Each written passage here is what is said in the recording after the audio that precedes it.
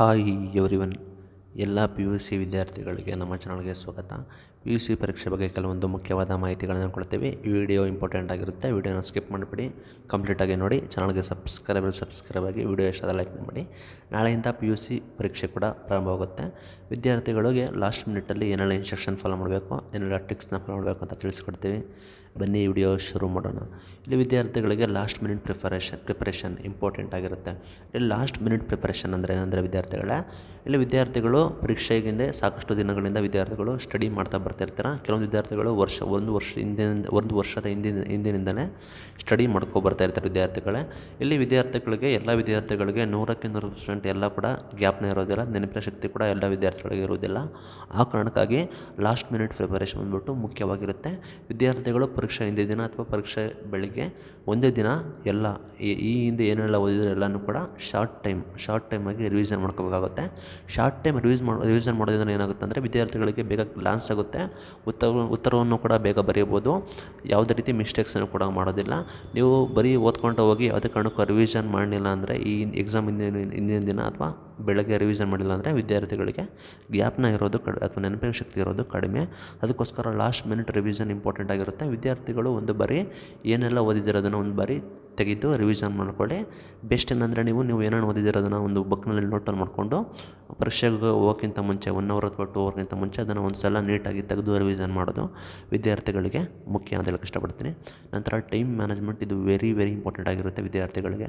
ಇಲ್ಲಿ ಟೈಮ್ ಮ್ಯಾನೇಜ್ಮೆಂಟಿಂದ ಸಾಕಷ್ಟು ವಿದ್ಯಾರ್ಥಿಗಳು ಟೈಮ್ ಮ್ಯಾನೇಜ್ಮೆಂಟ್ನ ಫಾಲೋ ಮಾಡೋಕ್ಕಾಗದಲ್ಲಿ ಸಾಕಷ್ಟು ವಿದ್ಯಾರ್ಥಿಗಳು ಫೇಲ್ ಆಗೋ ಚಾನ್ಸಸ್ ಕೂಡ ಇರುತ್ತೆ. ಇದಕ್ಕೆ ಈ ಕಾರಣಕ್ಕಾಗಿ ಟೈಮ್ ಮ್ಯಾನೇಜ್ಮೆಂಟ್ ಬಂದ್ಬಿಟ್ಟು ಸಾಕಷ್ಟು ಇಂಪಾರ್ಟೆಂಟ್ ಆಗಿರುತ್ತೆ. ಇಲ್ಲಿ ಕೆಲವೊಂದು ವಿದ್ಯಾರ್ಥಿಗಳು ಸ್ಲೋಗೆ ಬರೀತಾರೆ, ಕೆಲವೊಂದು ವಿದ್ಯಾರ್ಥಿಗಳು ಫಾಸ್ಟ್ ಫಾಸ್ಟಾಗಿ ಬರೀತಾರೆ. ಅದು ನಿಮ್ಮ ನಿಮ್ಮ ನಿಮ್ಮ ವಿವೇಚನೆಗೆ, ನಿಮ್ಮ ನಿಮ್ಮ ವೈಯಕ್ತಿಕ ಆದರೆ ವಿದ್ಯಾರ್ಥಿಗಳು ಟೈಮ್ ಮ್ಯಾನೇಜ್ಮೆಂಟ್ ಮುಖ್ಯವಾಗಿರುತ್ತೆ.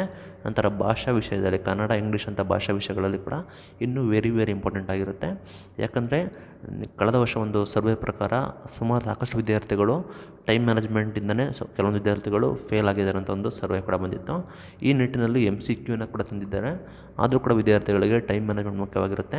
ವಿದ್ಯಾರ್ಥಿಗಳು ಮೊದಲು ಒಂದು ಅಂಕದ ಪ್ರಶ್ನೆಗಳಿಗೆ ಎಷ್ಟು ಆನ್ಸರ್ ಬರಬೇಕು ಅಷ್ಟೇ ಬರೀರಿ, ಎರಡು ಅಂಕದ ಪ್ರಶ್ನೆಗಳಿಗೆ ಎಷ್ಟು ಆನ್ಸರ್ ಬೇಕು ಅಷ್ಟೇ ಬರೀರಿ ಲಾಂಗ್ ಆನ್ಸರ್ಸ್ಗೆ ಎಷ್ಟು ಆನ್ಸರ್ ಬೇಕು ಅಷ್ಟೇ ಬರೀರಿ, ಒಂದು ಅಂಕದ ಪ್ರಶ್ನೆಗಳಿಗೆ ಜಾಸ್ತಿ ಬರೆಯೋದು, ಎರಡು ಅಂಕದ ಪ್ರಶ್ನೆಗಳಿಗೆ ಇನ್ನೂ ಜಾಸ್ತಿ ಬರೆಯೋದು ಲಾಂಗ್ ಆನ್ಸರ್ಗೆ ಇನ್ನೂ ಕೂಡ ಜಾಸ್ತಿ ಬರೆಯೋದು ಆ ರೀತಿ ಮಾಡೋಂಗಿಲ್ಲ. ಬರೀರಿ ತಪ್ಪೇನಿಲ್ಲ, ಎಷ್ಟಾಗುತ್ತೆ ಅಷ್ಟು ಬರೀರಿ. ಇನ್ ಕೇಸ್ ವಿದ್ಯಾರ್ಥಿಗಳಿಗೆ ಸಮಯ, ಇನ್ನೂ ಹೆಚ್ಚುವರಿ ಸಮಯ ಐತೆ ಇನ್ನೂ ಕೂಡ ಟೈಮ್ ಇದೆ ಅಂದರೆ ಬೇಕಾದರೆ ಬರೀರಿ. ನೀವು ಸ್ಟಾರ್ಟಿಂಗಿಂದನೇ ನೀವು ಸಾಕಷ್ಟು ಕಾಲಹರಣ ಮಾಡಿದ್ರೆ ನಿಮಗೆ ಬೇರೆ ಆನ್ಸರ್ಗಳನ್ನು ಅಟೆಂಡ್ ಮಾಡೋಕ್ಕೆ ಸಾಧ್ಯ ಇರ್ಬೋದು ಅಥವಾ ಗಜಿ ಬಿಜಿ ಆಗ್ಬೋದು, ನಾನಾ ತೊಂದರೆಗಳನ್ನು ಕೂಡ ಅನುಭವಿಸ್ಬೋದು. ವಿದ್ಯಾರ್ಥಿಗಳು ಮೊದಲು ಆ ರೀತಿ ಮಾಡಿ, ಮೊದಲು ಯಾವ ವಿಷಯ ಗೊತ್ತೋದಕ್ಕೆ ಎಷ್ಟು ಆನ್ಸರ್ ಗೊತ್ತೋದನ್ನು ನೀಟಾಗಿ ಬರೀರಿ. ನೆಕ್ಸ್ಟ್ ಏನಾದರೂ ಕಾಲಾವಕಾಶ ಉಳಿದ್ರೆ ಬೇಕಾದರೆ ನೀವು, ಬೇಕಾದರೆ ಎಕ್ಸ್ಟ್ರಾ ಕೂಡ ಬರಬೇಕಾಗುತ್ತೆ.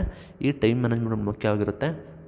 ವಿದ್ಯಾರ್ಥಿಗಳು ಮುಂಚೆ ಅನಾಲಿಸಿಸ್ ಮಾಡಿ ಫಾರ್ ಎಕ್ಸಾಂಪಲ್ ವಿದ್ಯಾರ್ಥಿಗಳಿಗೆ ಯಾವುದು ಸುಲಭ ಆಗುತ್ತೆ? ಫಾರ್ ಎಕ್ಸಾಂಪಲ್ ಗ್ರಾಮರೆಟಿಕ್ ಪಾರ್ಟ್ ಸುಲಭ ಆಗುತ್ತೆ, ಅಥವಾ ಎಂ ಸಿ ಕ್ಯೂ ಸುಲಭ ಆಗುತ್ತೆ, ಅದನ್ನು ಸ್ಟಾರ್ಟಿಂಗ್ ಅಟೆಂಡ್ ಮಾಡೋದು ಲಾಂಗ್ ಆನ್ಸರ್ಸ್ನ ಲಾಸ್ಟಿಗೆ ಬಿಟ್ಕೊಳ್ಳೋದು ಲಾಸ್ಟ್ ಹೆಂಗಿರೋ ಟೈಮ್ ಇರುತ್ತೆ ಆಗ ಲಾಂಗ್ ಆನ್ಸರ್ಸ್ನ ಬರೀಬೋದು, ಆ ರೀತಿ ವಿದ್ಯಾರ್ಥಿಗಳು ಟೈಮ್ ಮ್ಯಾನೇಜ್ಮೆಂಟ್ ಮಾಡ್ಕೊ ಮಾಡ್ಕೋಬೇಕಾಗುತ್ತೆ. ಇದು ಮುಖ್ಯವಾಗಿರುತ್ತೆ ಅಂತ ಹೇಳಕ್ಕೆ ಇಷ್ಟಪಡ್ತೀನಿ. ನಂತರ ಔ ಟು ರೈಟ್ ಅನ್ನೋ ಕ್ವಶನ್ಸ್ ವಿದ್ಯಾರ್ಥಿಗಳಿಗೆ ನಮಗೆ ಈ ಕ್ವಶನ್ಗೆ ಉತ್ತರ ಗೊತ್ತಿಲ್ಲ, ಅದನ್ನು ಹೇಗೆ ಬರೀಬೇಕು ಅಂತ ಈ ವಿಡಿಯೋದಲ್ಲಿ ಈ ಟ್ರಿಕ್ಸನ್ನು ಕೂಡ ತಿಳಿಸ್ಕೊಡ್ತೀನಿ. ಇಲ್ಲಿ ಎಲ್ಲ ವಿದ್ಯಾರ್ಥಿಗಳಿಗೆ ನೂರು ಪರ್ಸೆಂಟ್ ನೂರಕ್ಕೆ ನೂರು ಪರ್ಸೆಂಟ್ ಆನ್ಸರ್ ಗೊತ್ತಿರಲಿಲ್ಲ. ಕೆಲವೊಂದು ವಿದ್ಯಾರ್ಥಿಗಳಿಗೆ ಅರ್ಧ ಮರ್ಧ ಗೊತ್ತಿರುತ್ತೆ, ಕೆಲವೊಂದು ವಿದ್ಯಾರ್ಥಿಗಳಿಗೆ ಫುಲ್ ಕೂಡ ಗೊತ್ತಿರುತ್ತೆ. ಇಲ್ಲಿ ವಿದ್ಯಾರ್ಥಿಗಳು ಏನು ಮಾಡಬೇಕಾಗಂದ್ರೆ ಏನು ಮಾಡಬೇಕಾಗುತ್ತಂದರೆ ಗ್ರಾಮರ್ ವಿಷಯದಲ್ಲಿ ವಿದ್ಯಾರ್ಥಿಗಳಿಗೆ ಸ್ವಲ್ಪ ಕಷ್ಟ, ಗೊತ್ತಿಲ್ಲದ ಕ್ವಶನ್ಸ್ನ ಆನ್ಸರ್ ಮಾಡೋಕ್ಕೆ ಬಟ್ ಗೆಸ್ ಮಾಡ್ಬೋದು.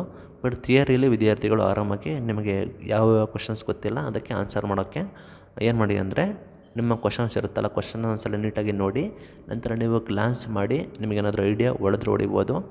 ನಂತರ ವಿದ್ಯಾರ್ಥಿಗಳು ಇಲ್ಲಿ ವಿದ್ಯಾರ್ಥಿಗಳಿಗೆ, ಕೆಲವು ವಿದ್ಯಾರ್ಥಿಗಳಿಗೆ ನಿಮಗೆ ಆನ್ಸರ್ ಗೊತ್ತಿರಲ್ಲ ಅಂಥ ವಿದ್ಯಾರ್ಥಿಗಳು ಒಂದು ಸಲ ಗ್ಲಾನ್ಸ್ ಮಾಡಬೇಕಾಗುತ್ತೆ ಅದಕ್ಕೆ ಆನ್ಸರ್ ಫೈಂಡ್ ಮಾಡ್ಬೋದು. ಹಂಗಂತರ ಯೋಚನೆ ಮಾಡ್ತಾ ಮಾಡ್ತಾ ಮಾಡ್ತಾ ಕಾಲಹರಣ ಮಾಡೋಂಗಿಲ್ಲ. ಯೋಚನೆ ಮಾಡಿ ಇನ್ ಕೇಸ್ ಗೊತ್ತಾದರೆ ಅದನ್ನು ಬರೆಯೋಕ್ಕಾಗುತ್ತೆ ಇಲ್ಲಾಂದರೆ ವಿದ್ಯಾರ್ಥಿಗಳಿಗೆ ಸಂಬಂಧಪಟ್ಟಂಗೆ, ಆ ಕ್ವಶನ್ ಪತ್ರಿಕೆ, ಆ ಕ್ವಶನ್ಗೆ ಸಂಬಂಧಪಟ್ಟ ಬೇರೆ ಯಾವ್ದಾದ್ರು ಉತ್ತರವನ್ನು ಕೂಡ ಬರೆದ್ರೆ ವಿದ್ಯಾರ್ಥಿಗಳಿಗೆ ಆರಾಮಾಗಿ ಅಂಕಗಳನ್ನು ಕೂಡ ಪ್ರೊವೈಡ್ ಮಾಡ್ತಾರೆ. ಫುಲ್ ಮಾರ್ಕ್ಸ್ ಸಿಕ್ಕಿದ್ರು ಕೂಡ ಆಫ್ ಅಂಕಗಳು ಆರಾಮಾಗಿ ವಿದ್ಯಾರ್ಥಿಗಳಿಗೆ ಪ್ರೊವೈಡ್ ಮಾಡ್ತಾರೆ. ಇದು ಯಾವೆಲ್ಲ ವಿದ್ಯಾರ್ಥಿಗಳು ಹೆಲ್ಪ್ ಆಗುತ್ತೆ ಅಂದರೆ ಜಸ್ಟ್ ಪಾಸ್ ಆಗೋ ವಿದ್ಯಾರ್ಥಿಗಳು ಹೆಲ್ಪ್ ಆಗುತ್ತೆ. ಇನ್ ಕೇಸ್ ಟಾಪರ್ ವಿದ್ಯಾರ್ಥಿಗಳು ಕೂಡ ಗೊತ್ತಿಲ್ಲ ಅಂದರೆ ಅದು ಕೂಡ ಹೆಲ್ಪ್ಫುಲ್ ಆಗುತ್ತೆ. ವಿದ್ಯಾರ್ಥಿಗಳು ಒಂದು ಸಲ ಕ್ವಶನ್ ಪೇಪರ್ನ ನೋಡಿ, ಅಲ್ಲಿ ಆ ಪ್ರಶ್ನೆಗೆ ಸಂಬಂಧಪಟ್ಟ ಬೇರೆ ಪ್ರಶ್ನೆಗಳು ಕೂಡ ಇರ್ತವೆ, ವ್ಯಾಕರಣ ಕೂಡ ಇರ್ತವೆ, ಅದನ್ನು ನೋಡ್ಕೊಳ್ಳಿ. ಅದನ್ನು ಕೂಡ ಬರೀರಿ ಆ ರೀತಿ ಸಂಬಂಧಪಟ್ಟ ಉತ್ತರವನ್ನು ಬರೆಯೋದ್ರಿಂದ ವಿದ್ಯಾರ್ಥಿಗಳಿಗೆ ಅಂಕಗಳನ್ನು ಕೂಡ ಪಡೆದುಕೊಳ್ಳಬಹುದು. ನಿಮ್ಮ ನಿಮ್ಮ ಮೌಲ್ಯಮಾಪನ ಯಾವ ರೀತಿ ಮಾಡ್ತಾರೆ ಅಂತ ಗೊತ್ತಿಲ್ಲ. ಇನ್ ಕೇಸ್ ಅವರು ಕೂಡ ನಿಮ್ಮ ಶೈಕ್ಷಣಿಕ ಹಿತದೃಷ್ಟಿ ಹಿತದೃಷ್ಟಿಯಿಂದ ನಿಮಗೆ ಅಂಕಗಳನ್ನು ಕೂಡ ಪ್ರೊವೈಡ್ ಮಾಡುವ, ಮಾಡಿದ್ರು ಕೂಡ ಮಾಡಬಹುದು. ನಂತರ ಕ್ವಶನ್ಗೆ ಸಂಬಂಧಪಡದಿರೋ ಕ್ವಶನ್ ಆನ್ಸರನ್ನು ಕೂಡ ಮಾಡಬೇಡಿ. ನಿಮಗೆ ಅಂಕ ಬರುವ ಸಾಧ್ಯತೆ ಕಡಿಮೆ ಇರುತ್ತೆ. ಇನ್ ಕೇಸ್ ಲಾಸ್ಟಿಗೆ ಏನು ಗೊತ್ತಿಲ್ಲ, ಏನು ಅಂದರೆ ಏನು ಗೊತ್ತಿಲ್ಲ ಅಂದರೆ ಯಾವುದಕ್ಕೆ ಕಾರಣಕ್ಕೂ ಖಾಲಿ ಬಿಟ್ಟು ಮಾತ್ರ ಬಿಡಬೇಡಿ. ಏನಾದರೂ ಒಂದು ಬರೆದು ಪೇ ತುಂಬಿಸಿ ಬರಲಿ ಅಂತ ಹೇಳಕ್ಕೆ ಇಷ್ಟಪಡ್ತೀನಿ ವಿದ್ಯಾರ್ಥಿಗಳಿಗೆ. ಈ ರೀತಿ ಮಾಡೋಕ್ಕಾಗುತ್ತೆ ನಂತರ ಎಕ್ಸಾಮ್ ಗೈಡ್ಲೈನ್ಸ್ ಆ್ಯಂಡ್ ರೂಲ್ಸ್ ಬಗ್ಗೆ ಮಾತಾಡ್ತೀನಿ. ನಿಯಮಗಳು ಸಾಕಷ್ಟು ಕಟ್ಟುನಿಟ್ಟಾಗಿರ್ತವೆ ವಿದ್ಯಾರ್ಥಿಗಳು ಪರೀಕ್ಷಾ ಕೇಂದ್ರಕ್ಕೆ ಸಮವಸ್ತ್ರ ಹಾಕೊಂಡು ಹೋಗಬೇಕಾಗುತ್ತೆ. ಮೂವತ್ತು ನಿಮಿಷ ಮುಂಚೆ ಹೋಗಬೇಕಾಗುತ್ತೆ. ನಂತರ ನೀವು ನಿಮ್ಮ hall ticket, I D card ಎಲ್ಲನೂ ಕೂಡ ತೆಗೆದುಕೊಂಡು ಹೋಗ, ಹೋಗಬೇಕಾಗುತ್ತೆ. ನಿಮ್ಮ ಪೆನ್ಸಿಲು, ಸ್ಕೇಲು, ಪೆನ್ನು ಎಲ್ಲ ಏನಿರುತ್ತೆ ಅಂತ ಹೊಂದ್ಕೊಂಡು ಹೋಗಬೇಕಾಗುತ್ತೆ. ನಿಮಗೆ ಎಕ್ಸಾಮ್ ಪರೀಕ್ಷೆ ಶುರುವಾದ ನಂತರ ಸ್ಟಾರ್ಟಿಂಗ್ ಹದಿನೈದು ನಿಮಿಷ ನಿಮಗೆ ಪ್ರಶ್ನೆ ಪತ್ರಿಕೆ ಓದೋಕ್ಕೆ ಕಾಲಾವಕಾಶ ಇರುತ್ತೆ. ನಂತರ ನಿಮಗೆ ಬುಕ್ಲೆಟ್ನ ಕೊಡ್ತಾರೆ. ವಿದ್ಯಾರ್ಥಿಗಳು ಉತ್ತರವನ್ನು ಕೂಡ ಬರೀತೀರ. ಸ್ಟಾರ್ಟಿಂಗ್ ಮೂವತ್ತು ನಿಮಿಷ ಸ್ಟಾರ್ಟಿಂಗ್ ಮೂವತ್ತು ನಿಮಿಷ ವಿದ್ಯಾರ್ಥಿಗಳಿಗೆ ಪರೀಕ್ಷಾ ಕೇಂದ್ರದಿಂದ ಎದ್ದು ಹೊರಗಡೆ ಹೋಗೋಕ್ಕೆ ಅವಕಾಶ ಇರೋದಿಲ್ಲ ಮೂವತ್ತು ನಿಮಿಷ ಆದ ನಂತರ ಬೇಕಾದರೆ ನೀವು ವಿದ್ಯಾರ್ಥಿಗಳು ಇನ್ ಕೇಸ್ ನಿಮ್ಮದು ಬರದಿ ಮುಗಿದ್ರೆ ವಿದ್ಯಾರ್ಥಿಗಳು ಹೊರಗಡೆಗೆ ಹೋಗ್ಬೋದು ಅಂದರೆ ರೀತಿ ಪರೀಕ್ಷಾ ಕೇಂದ್ರದಿಂದ ಎದ್ದು ಹೋಗ್ಬೋದು. ಒಂದು ಸಲ ಹೊರಗಡೆಗೆ ಹೋದರೆ ನಿಮಗೆ ಮತ್ತೆ ಬರುವುದಕ್ಕೆ ಅವಕಾಶ ಇರುವುದಿಲ್ಲ. ಇಲ್ಲಿ ವಿದ್ಯಾರ್ಥಿಗಳಿಗೆ ಯೂರಿನೇಷನ್ ಪರ್ಪಸ್ಗೋಸ್ಕರ ವಿದ್ಯಾರ್ಥಿಗಳಿಗೆ ಪರ್ಮಿಷನನ್ನು ಕೂಡ ಪ್ರೊವೈಡ್ ಮಾಡ್ತಾರೆ. ವಿದ್ಯಾರ್ಥಿಗಳು ನಿಮ್ಮ ಮೌಲ್ಯಮಾಪನ ಅವರ ಮೌಲ್ಯಮಾಪಕರು ಅಥವಾ ಸಾರಿ ನಿಮ್ಮ ಇನ್ವಿಜಿಲೇಟರ್ ಅವ್ರ ಕೈಲಿ ಪರ್ಮಿಷನ್ ತೊಗೊಂಡು ನೀವು ಯೂರಿನೇಷನ್ಗೆ ಹೋಗಿ ನಿಮ್ಮ ಪ್ರಶ್ನೆ ಪತ್ರಿಕೆ ಆನ್ಸರ್ ಪೇಪರ್ನ ಇಲ್ಲೇ ಇಟ್ಟು ನಂತರ ಬಂದು ನೀವು ಪರ್ಮಿಷನ್ ತೊಗೊಂಡು ಬರಬೇಕಾಗುತ್ತೆ. ಇದು ಮುಖ್ಯವಾಗಿರುತ್ತೆ. ಪಾಸಿಂಗ್ ಮಾರ್ಕ್ಸನ್ನು ಆಲ್ರೆಡಿ ಅನೌನ್ಸ್ಮೆಂಟ್ ಕೂಡ ಮಾಡಿದ್ದಾರೆ. ವಿದ್ಯಾರ್ಥಿಗಳು ಇಲ್ಲಿ ಪಾಸಿಂಗ್ ಮಾರ್ಕ್ಸ್ಗೆ ಒತ್ತು ಕೊಡೋದು ಬೇಡ. ನೀವು ಎಲ್ಲ ಆನ್ಸರ್ಸನ್ನು ಬರೀರಿ ಇನ್ನೂ ಹೆಚ್ಚು ಅಂಕ ಬರಿ ಬನ್ನಿ ಬರಲಿ ಅಂತ ಯೋಚನೆ ಮಾಡಿ. ಬರೀ ಪಾಸಿಂಗ್ ಮಾರ್ಕ್ಸ್ಗೆ ಯೋಚನೆ ಮಾಡಿದ್ರೆ ನಿಮಗೆ. ಇನ್ನೂ ಕೂಡ ಕಡಿಮೆ ಬರೋ ಸಾಧ್ಯತೆ ಇರುತ್ತೆ. ಅದಕ್ಕೋಸ್ಕರ ಪಾಸಿಂಗ್ ಮಾರ್ಕ್ಸ್ಗೆ ತಲೆ ಕೆಡಿಸ್ಕೋಬೇಡಿ. ಮೊದಲು ನಿಮಗೆ ಏನು ಗೊತ್ತು ಆನ್ಸರ್ಸ್ನ ಬರೀರಿ. ಯಾವ್ಯಾವ್ದು ಆನ್ಸರ್ಸ್ ನಿಮಗೆ ಯಾವ್ದಾದ್ರು ಸಂ, ಗೊತ್ತಿಲ್ಲ ಅಂದರೆ ಅದಕ್ಕೆ ಸಂಬಂಧಪಟ್ಟ ಆನ್ಸರ್ ಕೂಡ ಬರೀರಿ. ಒಟ್ಟಾರೆ ನಿಮಗೆ ಯಾವುದನ್ನು ಕೂಡ ಖಾಲಿ ಬಿಟ್ಟು ಬರಬೇಡಿ. ಪಾಸಿಂಗ್ ಮಾರ್ಕ್ಸ್ ಬಂದ್ಬಿಟ್ಟು ತನ್ನಂಗೆ ತನ್ನಂಗೆ ತಾನೇ ಬರುತ್ತೆ. ಗ್ರೇಸ್ ಅಂಕ ಕೂಡ ಕೊಡ್ತಾರೆ.